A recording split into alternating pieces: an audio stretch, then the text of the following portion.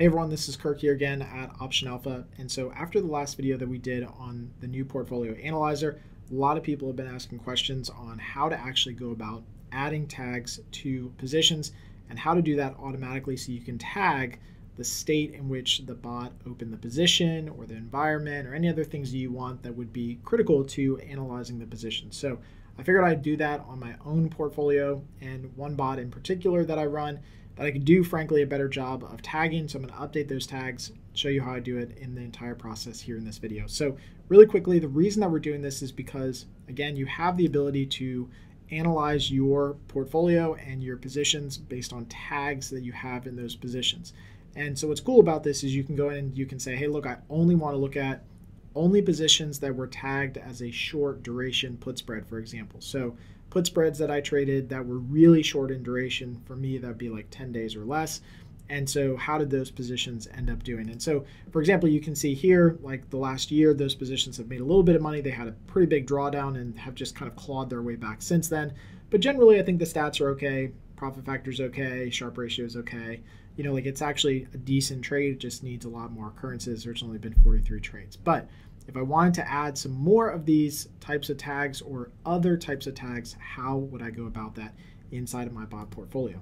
Now, what you're going to want to do to add tags to positions is simply include them inside of your automations or any of your open position actions. So in this case, we're going to look at the live trendy short put spread, which is a bot that I run. And that's the one that basically tags all of these positions I just showed you as short duration. So I'm going to add more tags to this bot, not only with the uh, close open position, but also with the closed position. So I can basically try to tag it as when it was closed or the environment that it was in. So I'm going to go over to the settings for the bot, and then you can see I have a single scanner automation that is for my short put spreads. And I'm doing a lot of decisions, and I eventually get to this open position action. So in this case, when I open up the open position action, I've got all my criteria. I can see it's a short duration.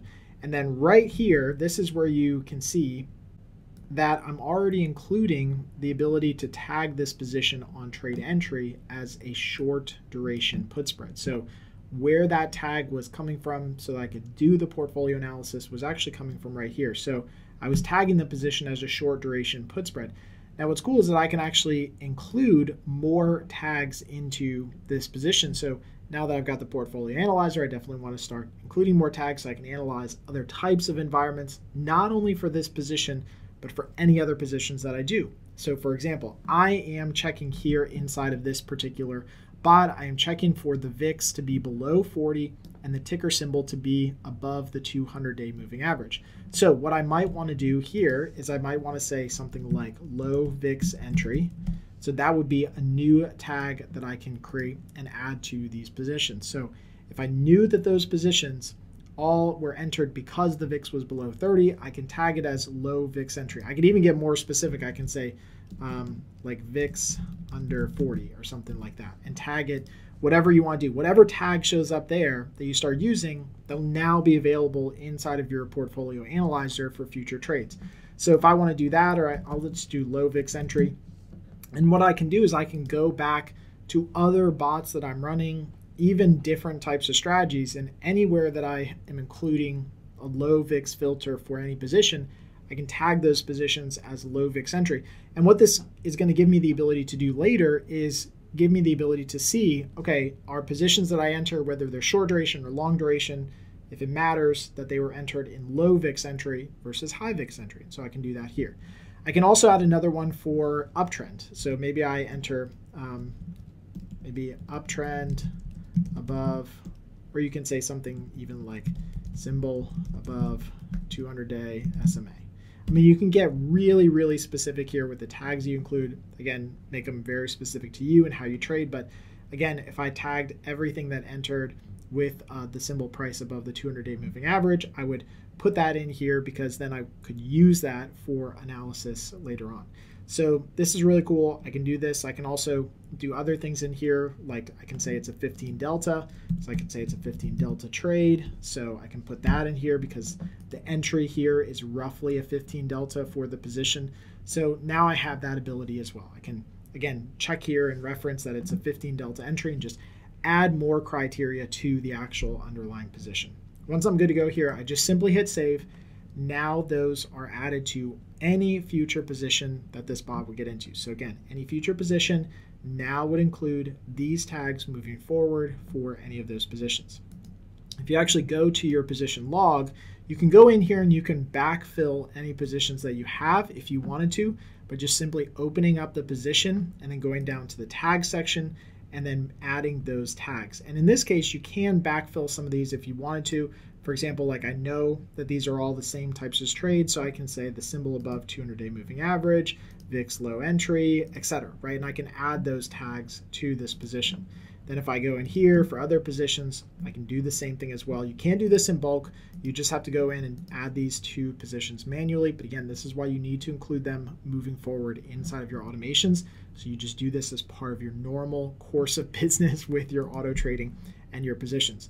Okay, so now that I have that, if I go back here to my positions, can just reload this here and you can see that I can go in here and I can tag I can now see anything that's a 15 delta. So I only tagged a couple positions. Those two positions that I had were tagged as a 15 delta, but now I can filter all positions by just positions with that tag. I could also include low VIX entry for any of those positions, right? Or symbol above 200 day moving average or short duration put spread, whatever. I can include all of those that I want here inside of my bot portfolio by just clicking on them here inside of the analyzer. So it's really, really simple to go through and add some of these tags to open positions. Now, really quickly, I'm going to jump over into the settings, and I'm also going to add some tags to the other monitor automations. So you don't just have to add tags for positions where just regular positions. You can also add tags if you're hedging.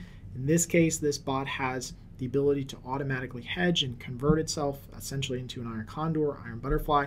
So inside of here, I'm going to go here to the open position action for the short call spread. And you can see I've already added a tag called hedge short call spread. And so I can add a tag in here that's also short duration hedge or something like that. So I can see that there was a short duration hedge and I could add other tags if I wanted to also. But this again allows me to see for my analysis of my positions, okay, what short call spreads did I enter? and which ones of those were hedged positions. Now I can analyze the positions that were eventually hedged. Did those hedged positions work out? Did they add to the portfolio? Did I make money on the hedge? Did I not make money on the hedge? I can do that now with the addition of these tags inside of this action. If I go here to the short call spread manager itself, inside of the closed position action, I can again tag that position as a short call spread hedge. Okay, short call hedge. So I know that that's a position that I was managing. There was a short call spread.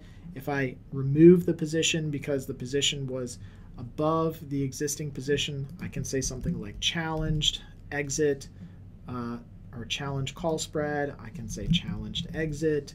I can do all sorts of things if I wanted to, to again add context to the environment and the conditions in which the position was closed or entered, all of this again is then going to be available for you inside of your portfolio analyzer. So I might add some of these additional things here because that's how the position was closed. It was closed because the position expires in less than one day and the position is above the short call strike. That's how this action would get triggered. So if that's the case, we know it was a short call hedge. We can just remove that one because we had it tagged before, but it was a challenge call spread because the stock was trading above the short strike and it was a challenged exit at expiration to close the position. So however you say that, whatever verbs or terms you use, you can put that in there and again, it will add that to the position moving forward. So I hope this was really helpful to kind of go through this. As always, if you have any questions, let us know. But please start digging into your stats, your portfolios, start including tags as part of your normal course of business for building out your bots because it does help you later on be able to analyze positions that you have and environments that work well and don't work well for the different strategies you're running.